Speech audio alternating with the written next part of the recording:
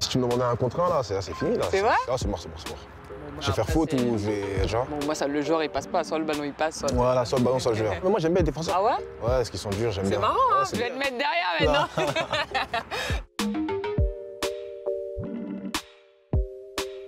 On voit que le foot féminin a beaucoup progressé, il y a beaucoup de niveaux. Même des fois, j'essaie de comparer un peu, je me dis, mais si on joue le contraire, est-ce qu'on va gagner?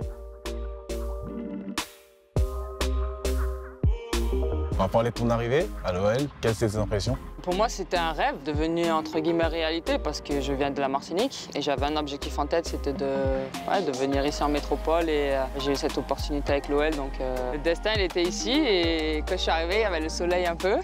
T'avais quel âge? J'avais 16 ans. 16 ans? J'avais 16 ans quand Ah, je. Ça remonte. hein. Ouais, ça remonte.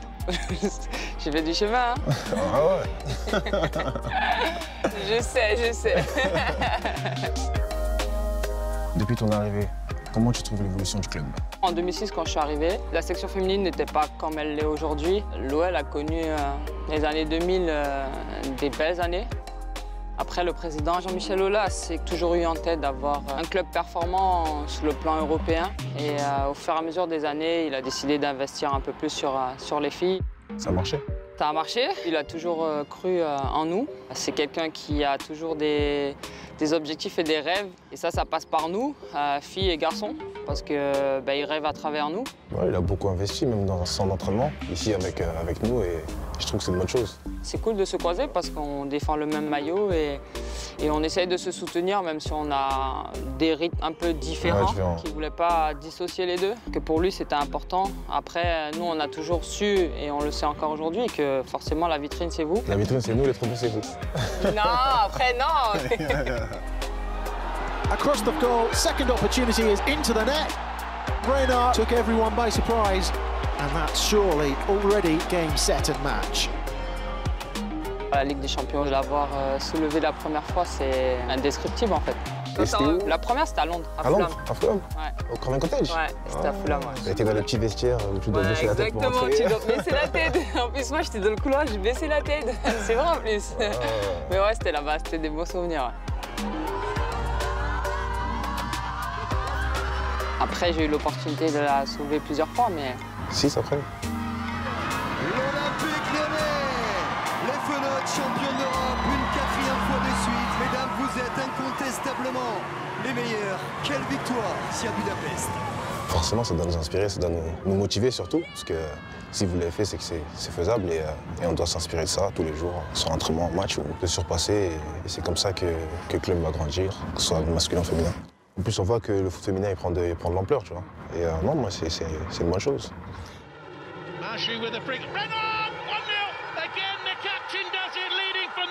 It's a 103rd goal for Leon. She's a centre half. Est-ce que tu penses que la section féminine de l'OL a été euh, une inspiration pour les grands clubs qui n'avaient pas avant une section féminine aussi forte? Ce qu'on voit aujourd'hui, il y a de plus en plus de noms. Il y a quelques années, il n'y avait pas la Juve, même si elles étaient là, mais il y avait très peu de moyens. Cascarino's got the pace to get to this. And Macario with the turn, brilliantly done!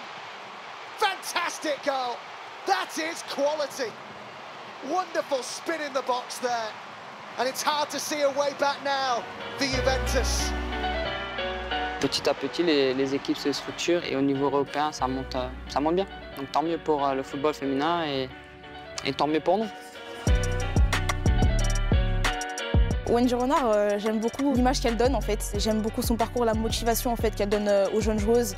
Elle donne l'envie de se surpasser et de devenir comme elle en fait, tout simplement.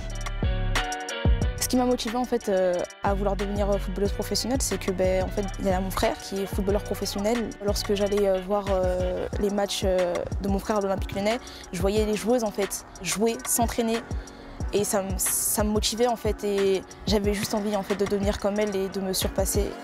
Laura, c'est qui ta meilleure joueuse à l'Olympique Lyonnais? Amandine Henry, j'aime beaucoup. En plus, elle joue à mon poste, donc. euh, Franchement, Amandine Henry, elle fait le taf. Hein. Ah C'est bah toute la différence sur le terrain.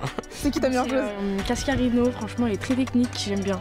Ah ouais, comme toi, hein Ouais. Ouais, c'est Wendy Renard. Voilà, elle arrête tout. Enfin, vraiment, c'est la patronne. Ouais, sa taille et tout, c'est la patronne de la défense.